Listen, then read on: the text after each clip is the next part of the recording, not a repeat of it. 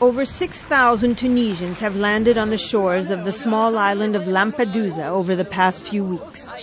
They say they're looking for a better life and an escape from the chaos and violence in their country. On attaque les personnes. Chaque jour presque. Chaque jour, tu écoutes euh, un homme qui est là mort, ou bien une femme, ou bien. The few women who made the dangerous trip say they fled for their safety. Monia lived in southern Tunisia. She came with her husband, fearing the worst. أنا نخدم عندي عندي كرهبة عندي عشر سنين عندي كرهبة آه، كنت نخدم معناها نروح اتو ماما توا وليت في في فترة اللي باب الدار ريت توا هكا الدنيا ظلت ما عادش نجم نخرج. سوي اوبليجي باش نهز معي جاري باش نهز معي والجيران نردوا في بالهم على بعض تلمون نخافوا.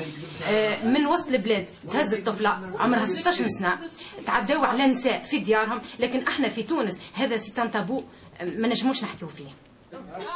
But most who've come are men like Hussam. He wanted to find work to support his family.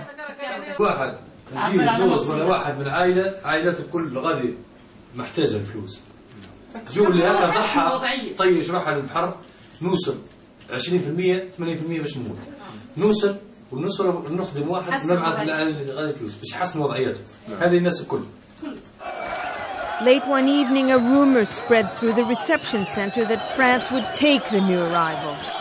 But it was wishful thinking.